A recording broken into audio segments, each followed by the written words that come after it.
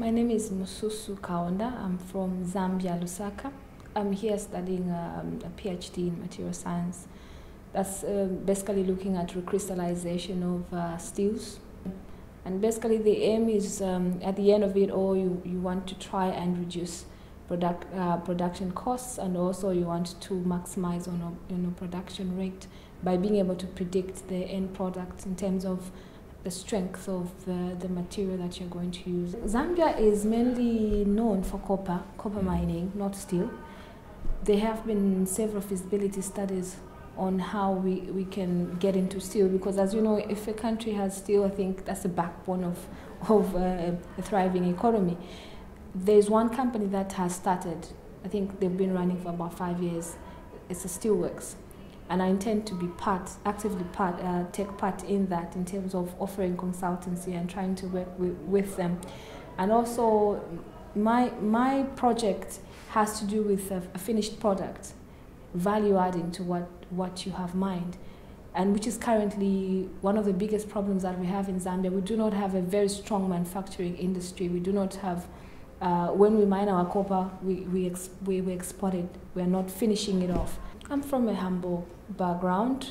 My father was um, a technician, electrical technician.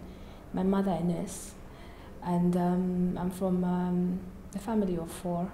I'm a mother. I have three children and a husband, and they are with me here in the UK supporting um, my dreams, I guess. I think my father used to encourage me, I think, that you become an engineer because I was good in mathematics. So he, I think naturally, because he was working for uh, ZESCO, an energy company uh, back in Zambia. So naturally, I think he thought that maybe if you're good in mathematics, then one should become an engineer. So from, um, I think the time I was in um, year 11, year 10, my father had already started talking about me becoming an engineer, and I think it, that started forming in, in me. And then later on, I, I found myself at the University of Zambia uh, second year, I had to make a decision. I still wanted to do engineering, but I think I wasn't quite sure which engineering I wanted to do. And um, I finally decided that I wanted to do metallurgy. After finishing, I worked for Konkola Copper Mines, which is a mining uh, company in Zambia.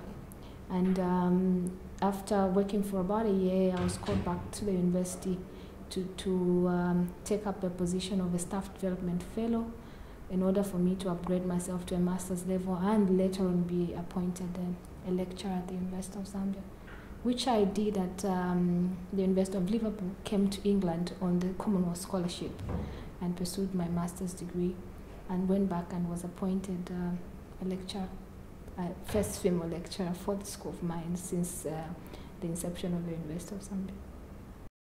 So when you decided to do your original course in metallurgy, was it very unusual for a woman to do that?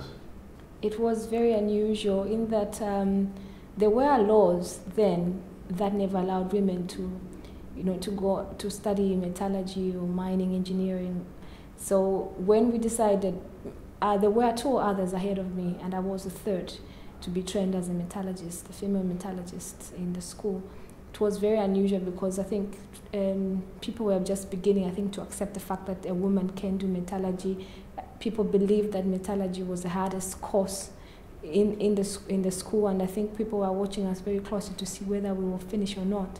So it was, um, it was a big challenge. I think it was a, it was a, a bold step. But with two people ahead of me, females ahead of me, and seeing how they were progressing, though they were just a, a year ahead of me, I was encouraged that I could also do it, could also pursue that. And is the situation improving now? Is it becoming easier for women like yourself to work in your field? Yes, it is. Uh, currently, the, I think the, uh, the School of Mines uh, has about 9%, 9% of the, the uh, total students there are female. As compared to when I was a student, I was the only female student then in the School of Mines, but now you have about 9% of the, uh, the total number of students in the school being female. So yes, it is tremendously improving. When, when you were growing up, did you have good teachers who were able to tell you about different possibilities apart from your father? Were your teachers good at saying you can go into these fields, you don't have to, as a woman, you don't have to be restricted in what you do? Uh, no. no. Um, there, are, there are not many career advisors. We do, we do have such offices. At the school I was, there was a careers office. But in terms of career guidance, there's not so much done. So we need to work on that.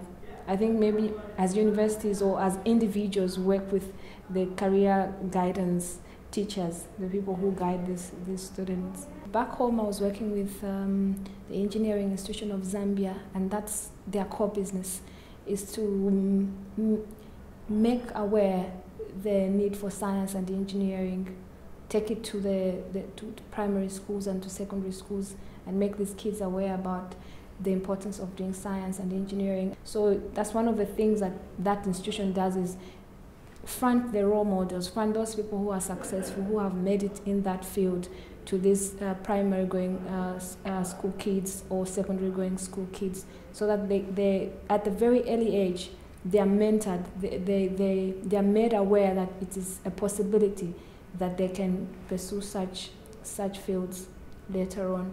And I think that it is very important that um, they should be able to know at a very tender age.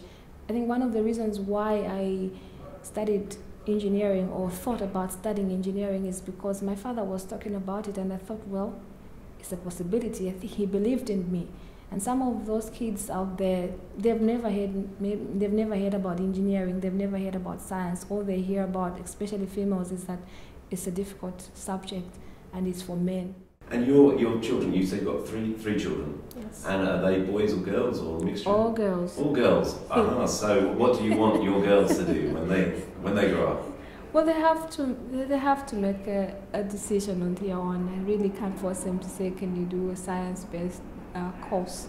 If you wanted to do um, a business-related course, they can go ahead and do that.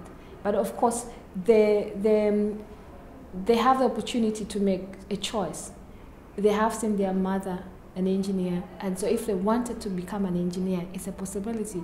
They have somebody who has who has um, gone through that path, so it's not going to be difficult for them, and it's something they're already thinking about. They know there's a woman can become an engineer, a man can become an engineer as well. If I wanted, I could do business. So their horizon is, is broadened.